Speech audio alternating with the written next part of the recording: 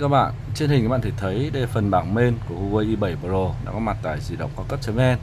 Khi bạn gặp lỗi sự cố liên quan đến phần bảng main trên Huawei i7 Pro, cần một địa chỉ thay mới main, đổi mới main cho Huawei i7 Pro. Quý các bạn vui lòng liên hệ 024 66 750 99 kỹ thuật viên tại di động cao cấp.vn sẽ tư vấn hướng dẫn cụ thể với các bạn.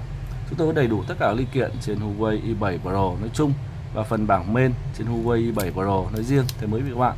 Các bạn chỉ cần cầm máy qua các địa chỉ của di động cao cấp.vn chúng tôi tiến hành thay mới với các bạn nhanh chóng, an toàn và tiện lợi. Xin cảm ơn quý vị các bạn đã xem video giới thiệu về dịch vụ thay mới main, đổi mới main cho Huawei i7 Pro tại di động cao cấp.vn. Mọi thắc mắc thêm, xin vui lòng liên hệ 024 66 750 99